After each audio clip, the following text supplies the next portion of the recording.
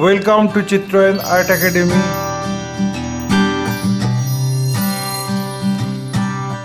Today I am going to show you how to paint a zoo on oil pastel.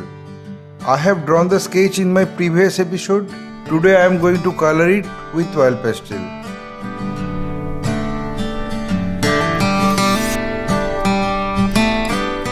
My earnest request to the viewers of my channel watch this video till end. Don't skip the video. You can follow my drawing step by step.